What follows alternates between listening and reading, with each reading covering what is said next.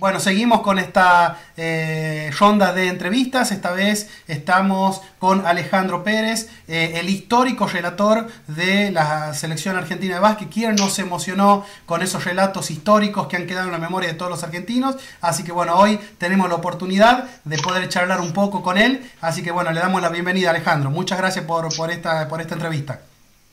No, gracias a vos eh, y a por, por dejarme participar de este programa y bueno, este, dispuesto a, una charla que, sea enriquecedora para todos. ¿no? Perfecto, perfecto. ¿Y cómo te está tratando eh, eh, la cuarentena? ¿Cómo la estás pasando junto a tu familia, con tu trabajo? ¿Cómo, cómo te ayornaste a esta nueva situación?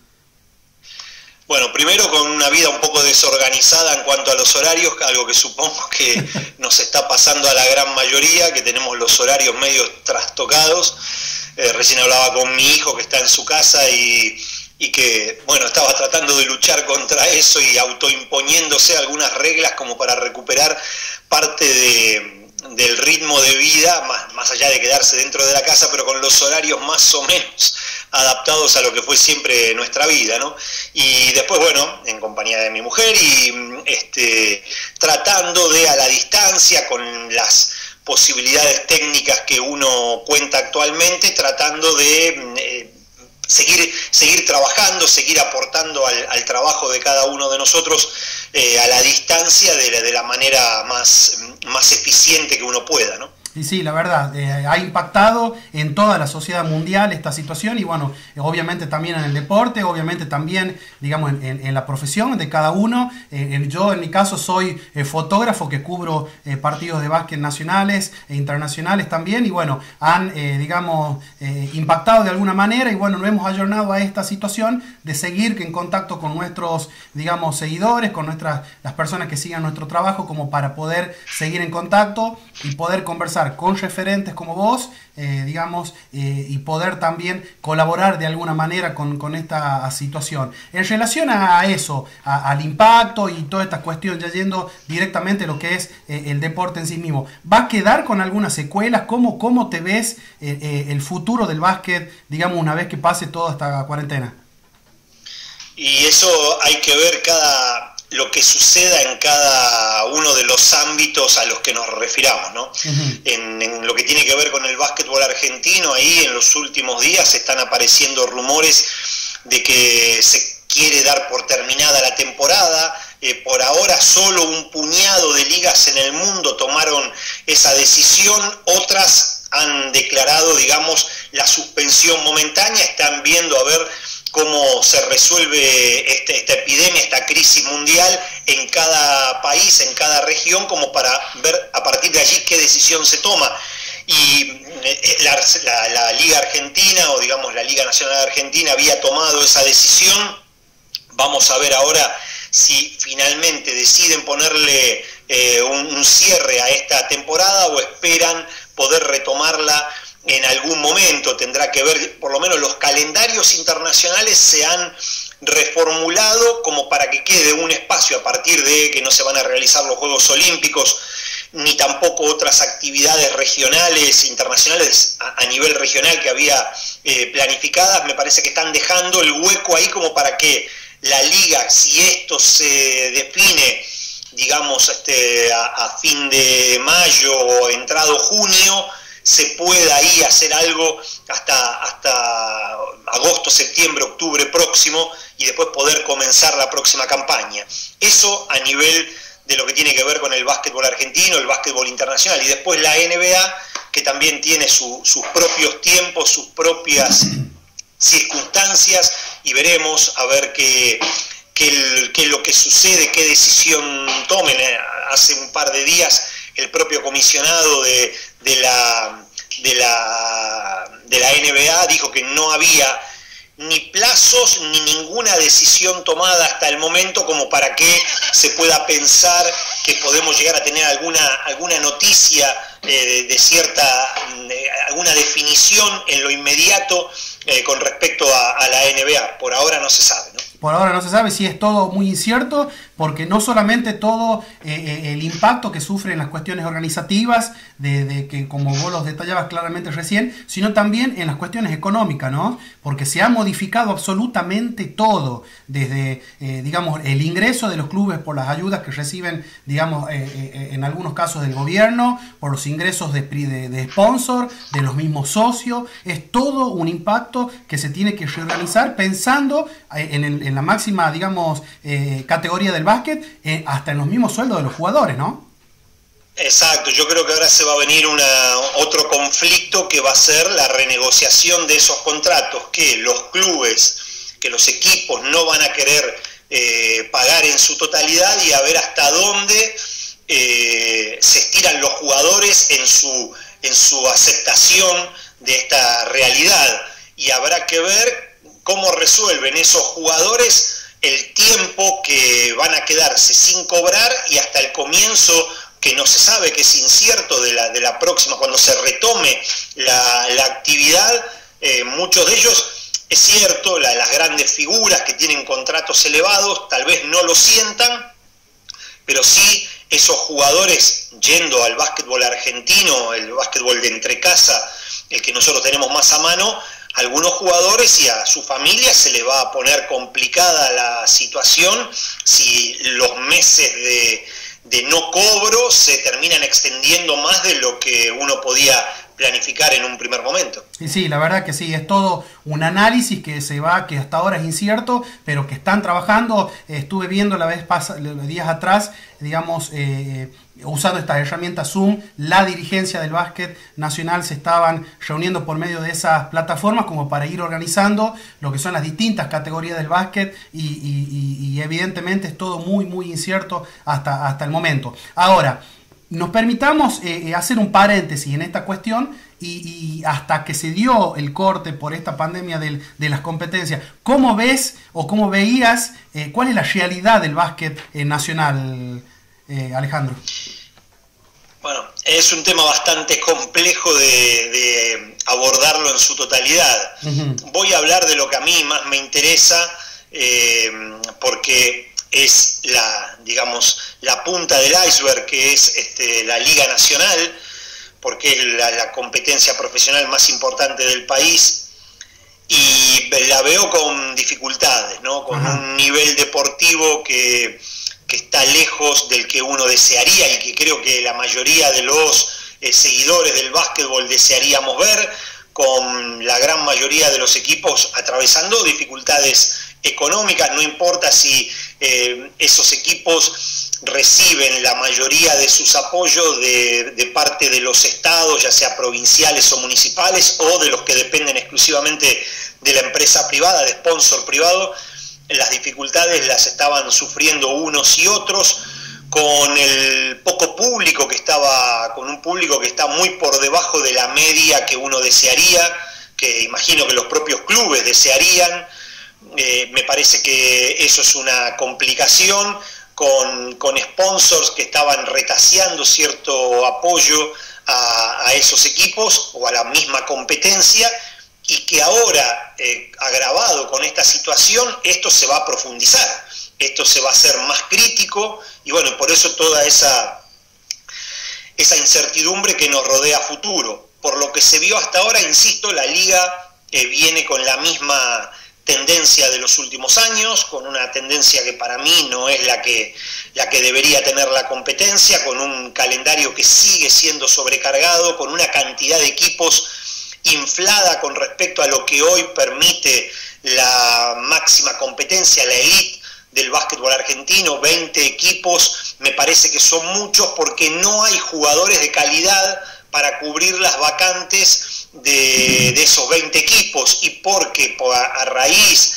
del valor que hoy tiene el dólar o que viene teniendo de los últimos 4 o 5 años, que está muy, muy alto, eh, hace que no se puedan contratar eh, jugadores de buena calidad. Entonces, contra todo lo que se diga, no hay tanto espacio como se dice para el jugador argentino. El jugador argentino no tiene un nivel acorde al de la Liga Nacional. Sí, la tiene un puñado de jugadores, pero después hay un montón de vacantes que están completadas, que están ocupadas por jugadores que verdaderamente no tienen nivel para jugar en la máxima liga argentina y después porque las plazas de extranjeros, que en algunos casos son de una cantidad que no es la ideal, más allá de que en los últimos años, fundamentalmente por lo que tiene que ver con el valor del dólar y que hoy traer un jugador extranjero, aunque sea a bajo costo, sigue siendo caro por el valor que tiene el dólar, el nivel de los extranjeros no es bueno, Argentina hoy no puede salir al mercado a pretender fichar extranjeros de alto nivel porque no hay el, costo de esos jugadores es muy alto cuando uno hace la conversión eh, del dólar son contratos aunque se trate de jugadores económicos siguen siendo caros. Entonces el panorama no, no es el ideal. Para mí no se está viendo en la liga argentina el, el nivel dentro de la cancha y lo que rodea al espectáculo deportivo en sí no está teniendo el nivel que, creo que nadie en el básquetbol argentino, ni los que somos espectadores o, la prensa, que no somos eh, personajes que estamos directamente eh, involucrados en el evento, pero sí los jugadores, los entrenadores y los dirigentes fundamentalmente, seguro que este el nivel que está mostrando ahora la competencia no es el que ninguno de ellos pretende. Eh, eh, nombraste recién la dirigencia y en el medio de todo eso hubo un cambio muy fuerte, ¿no? En la en la CAP en estos tiempos, ¿no? Sí, sí, contra todo lo que se podía esperar, al menos en, en lo básico. Cuando uno, a ver, en, en las en las entidades deportivas los, los buenos resultados deportivos son un salvoconducto para la continuidad. Uno puede haber sido el peor dirigente de la, de la historia del deporte argentino. Si el equipo gana, eh, ese dirigente tiene asegurada la continuidad porque todo se apoya en los, eh, eh, en los resultados. La, la Confederación Argentina de Básquetbol, en medio de uno de los resultados más importantes de los últimos años, como es el segundo lugar en la Copa del Mundo de China, la, dirigencia no puede revalidar, o sobre todo el presidente Federico Subiele no pudo revalidar eh, su continuidad al frente de la entidad. Esto tiene que ver porque influyeron mucho más cuestiones políticas, de, de entramado político, de negociación política con algunos personajes que están a la luz de todos y otros que operan por atrás en silencio. Eh, y lo concreto es que ese, ese tejido político pesó más que lo, que lo deportivo estrictamente. Y es raro porque tampoco, seguramente a todos nos gustaría que la confederación, la estructura y la gestión de la Confederación Argentina de Básquetbol haya sido un poco mejor. Todos podemos tener el derecho a, pretenderlo y me imagino que todos buscamos que siempre sea un poco mejor. Sin embargo, la gestión de Subieles no, no era criticable, no era duramente criticable por la gestión. Una gestión, eh, a diferencia de las anteriores, que había sido corrupta, donde había manejos de, dudosa procedencia y de hecho, bueno, surgieron eh, eh, juicios, enjuiciamientos de, por, por, esos malos manejos, juicio que quedará en el olvido ahora seguramente, no, estoy seguro que ese juicio no se va a continuar, porque a alguno a lo mejor no le conviene que haya continuidad en el juicio. Eh, entonces, bueno, de hecho, seis integrantes del actual, del actual consejo directivo formaban parte de la gestión Bacaro. A lo mejor esos no quieren que se investigue, que se siga investigando. Entonces, este, me parece que más allá del buen manejo administrativo, económico y que desde lo, desde la estructura deportiva eh, no había grandes críticas para hacerle a, la gestión anterior, bueno, el, el, entramado político, la rosca política pesó más y eso desembocó en su, en su salida. Veremos a ver qué tal lo hacen los que ahora están al frente de la Confederación. Ahora, todo ese, ese, cimbroneo que hubo, eh, digamos, en la, en, la Confederación, también eh, salpicó a la selección. De hecho, hubo incertidumbre si, si, si el actual técnico iba a seguir o no. Al fin siguió, sigue con algunas dudas duda del tema de, los Juegos Olímpicos, bueno, ahora quedó un poco eh, desvanecido la situación de los Juegos, pero fue un, gran golpe, digamos que eh, evidentemente todo esto que acabas de decir, ¿se va a ver involucrada la selección argentina o no en la organización y en todo eso? Mira, yo nunca tuve dudas de la continuidad de Hernández. No, yo no conozco eh, deportistas y, en, el, en, el rubro deportistas pongo a los jugadores y a los entrenadores. No conozco ninguno de ellos que se haya bajado de unos Juegos Olímpicos. Podemos hablar de los jugadores de la NBA, que varios de ellos sí renunciaron, pero porque viven en un mundo aparte. Después de los, de los deportes olímpicos tradicionales, nadie se baja de unos Juegos Olímpicos por decisión propia, salvo que sea algo gravísimo, que acá no, no, hubo un cambio, un cambio de dirigencia, más allá de que alguno puede estar o no de acuerdo con, con la gestión actual, no es algo grave para nada como para como para apoyarse en eso para renunciar. Yo creo que todos privilegian estar, jugadores y entrenador, por eso dije que, nunca dudé de que Hernández iba a aceptar estar en los Juegos Olímpicos. Ahora, al correrse un año por esta situación general, bueno, ahora se abre alguna duda porque mm, sabemos que, Hernández también tiene el, deseo de, de ganar buen dinero, que se sabe, también que históricamente el, entrenador de la selección argentina de básquetbol no es un, profesional que gane mucho dinero, porque la confederación no tiene dinero para pagar grandes contratos. Sí, cobra bien, pero no eh, al nivel que podría cobrar o en los clubes más importantes de la Argentina y mucho más en el ámbito internacional. Entonces Hernández tiene, más allá del deseo deportivo de probarse en una liga más competitiva en otro país, también tiene el deseo personal de, cobrar más dinero, eso sabe que lo puede hacer en el exterior, entonces bueno, habrá que ver si de acá a un año, ahora que el objetivo fue corrido 15, 16 meses hacia adelante, hay que ver si Hernández llega.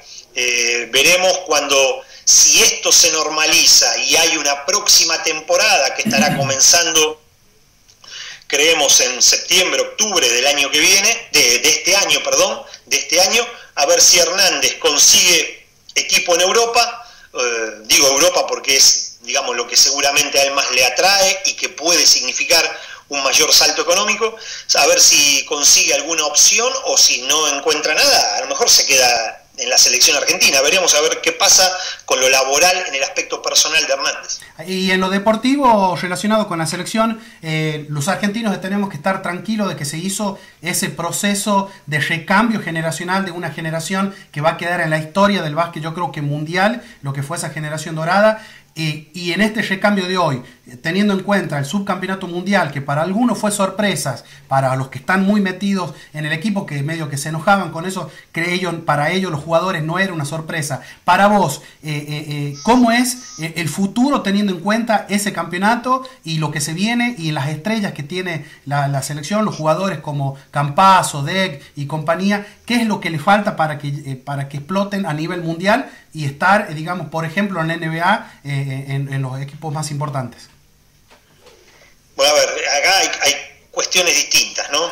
Eh, Argentina hizo su recambio, le demoró el tiempo que le demoró, para mí mucho más rápido de lo que se podía imaginar.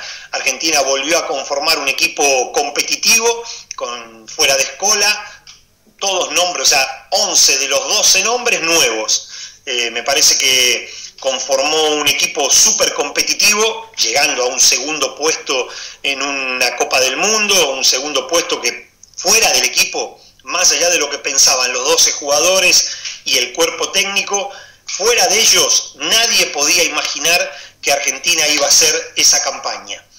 Eh, entonces, desde lo deportivo, impecable. Se hizo el recambio y Argentina demostró que es competitivo. Tiene una base de jugadores, a excepción de Escola, bastante, bastante joven, eh, todavía ninguno está, a ver, estoy pensando que a lo mejor, eh, no, ninguno tiene 30 años, así que eh, es un equipo eh, joven que tiene todavía al menos un ciclo olímpico más para, para aportar este mismo grupo, para aportar algo más. Siguen apareciendo chicos interesantes, estamos hablando que Volmaro, que está en el, en el Barcelona, eh, tiene muchas chances de estar en el draft de este año de la NBA, así que eh, por el lado deportivo tenemos que estar tranquilos. Campaso es una estrella del básquetbol europeo, la Provítola, Dec, Brusino, Delía, eh, están todos consolidados en, ligas del máximo nivel europeo y todos tienen participación y todos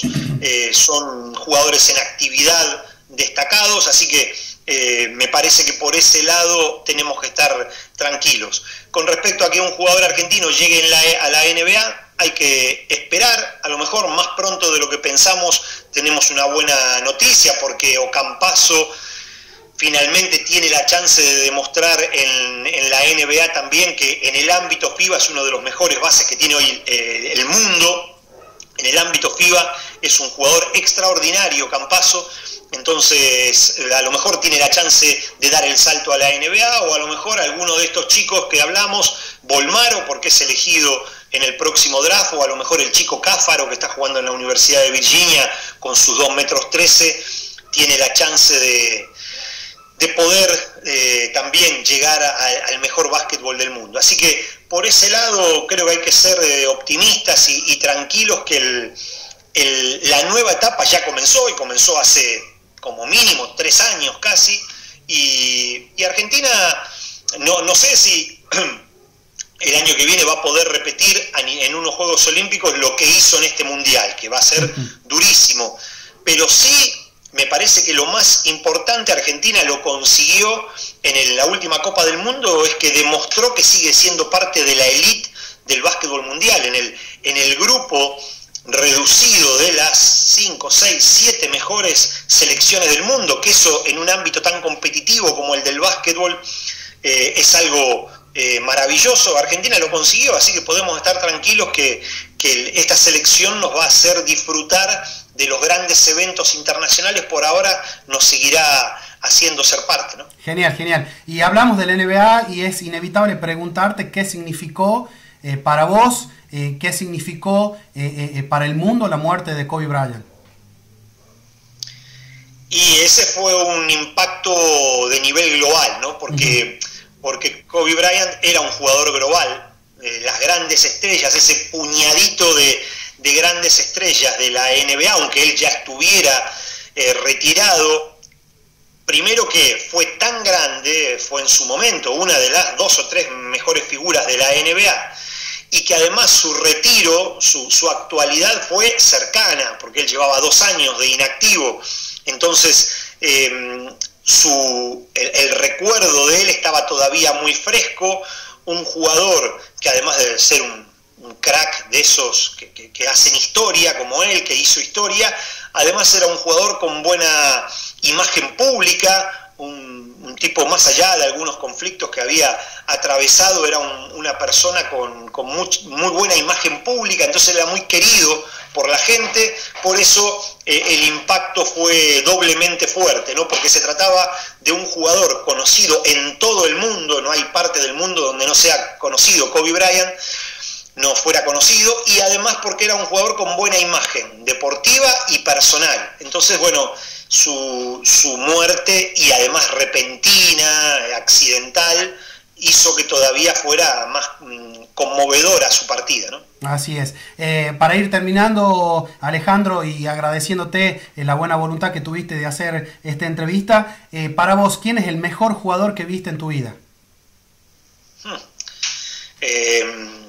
En, la NBA, Michael Jordan tiene una, trayectoria a la que cuesta encontrarle puntos débiles, no puntos de fuga, no es un jugador casi sin desperdicio, no hay una parte que uno pueda decir, bueno, esta parte no era buena de él, esta la sacamos, digo, lo estrictamente deportivo, ¿no? Después lo personal no, no sé ni me interesa demasiado.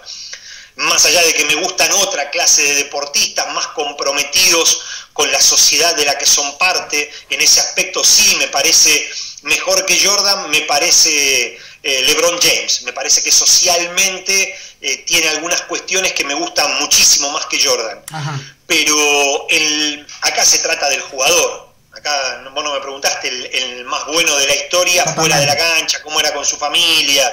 Me preguntaste por el juego. Y en el juego Michael Jordan tiene, tiene pocos, no, no, no tiene puntos criticables. Fue tan fantástica su carrera deportiva que, que cuesta encontrar algo mejor que él, porque se asemejó bastante, bastante a la perfección, ¿no? Bastante, si uno dice, bueno, un jugador perfecto, más o menos sería como este.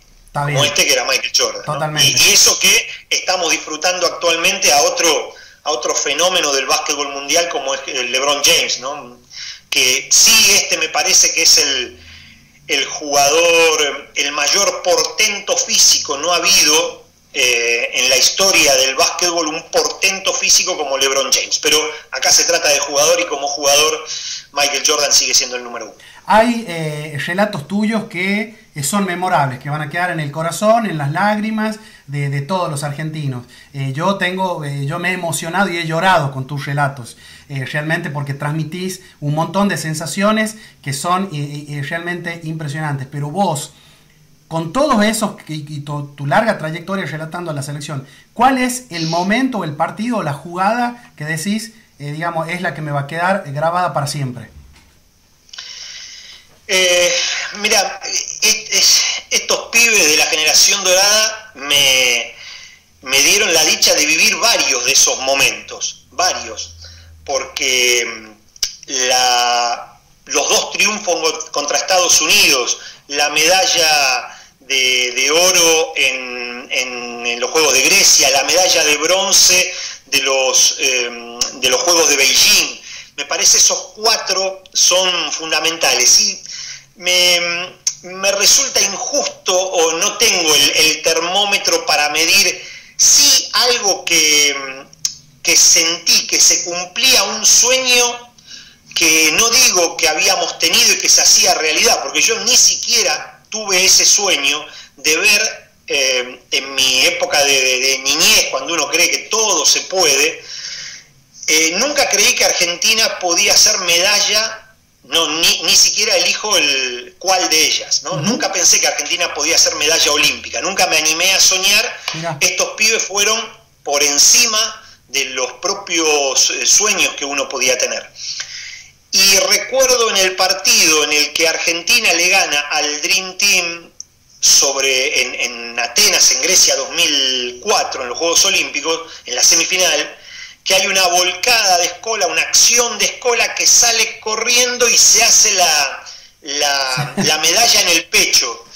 Entonces ese fue el momento en el que dije, estos tipos eh, concretaron los que algunos ni nos animamos a, soñar, ellos no solo que lo soñaron, sino que lo concretaron, algo infinitamente más difícil y, mucho más lindo.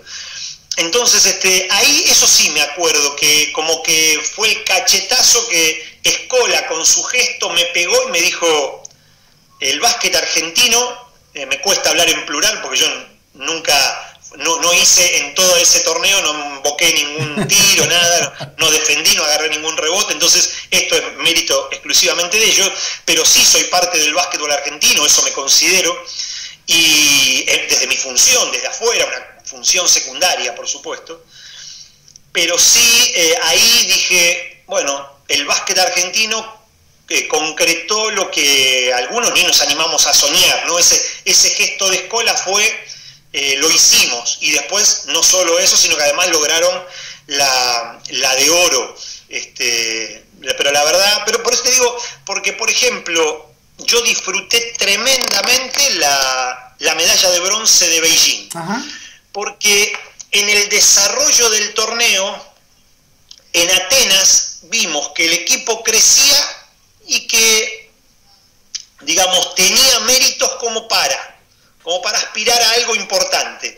Al, equipo de Beijing yo no lo veía tan, tan sólido, había, ya había empezado el recambio, eh, eh, era un grupo de había eh, cuatro o cinco estrellas tremendas y después el resto de muchachos que acompañaban muy bien, pero a lo mejor no tenían el nivel de aquellos integrantes de la generación dorada que ya no estaban.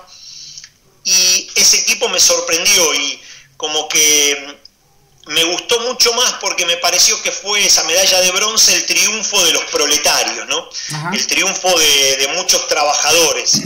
Y ¿no? De, los Leo Gutiérrez, de los Paolo Quinteros, de, esa clase de jugadores que, remaban en silencio y me, gustó mucho, de Román González en menor medida, pero me, gustó mucho lo que hizo ese equipo, de un equipo que no tuvo a, Ginóbili en el partido trascendental por el bronce, no lo tuvo lamentablemente, entonces me pareció que ese, ese, bronce de Beijing lo disfruté muchísimo, muchísimo. Bueno, Alejandro, eh, no quiero molestarte más, eh, eh, sé que debes ser una persona muy requerida también en estos tiempos para hacer entrevistas y todo lo demás. Te agradezco muchísimo, muchísimo la amabilidad tuya en acceder a esta entrevista. Muchos acá del básquet que les comenté la posibilidad de la entrevista con vos están esperando que, subamos esta entrevista a la, página para que la puedan apreciar, así que te agradezco de corazón y, te mando un gran abrazo desde La Rioja. ¿eh? No, gracias a vos, felicitaciones por el trabajo que hacen, por la difusión del básquetbol en cualquier trinchera desde donde se defienda esta actividad, de donde se difunda el básquetbol, para mí son, son aliados, ¿no? porque todos estamos en, la misma, algunos desde una clase de medios, otro desde otra, eh, desde la ciudad que sea, a lo largo y ancho de todo el país, todo aquel que que difunda el básquetbol para mí es un, es un aliado, así que lo felicito por la tarea que, hacen, que haces, y bueno, la mejor de las suertes y acá a la orden para cuando lo necesiten. Muchísimas gracias. Un gran abrazo, ¿eh? que andes bien y cuídate mucho. Lo mismo. Hasta luego. Bárbaro.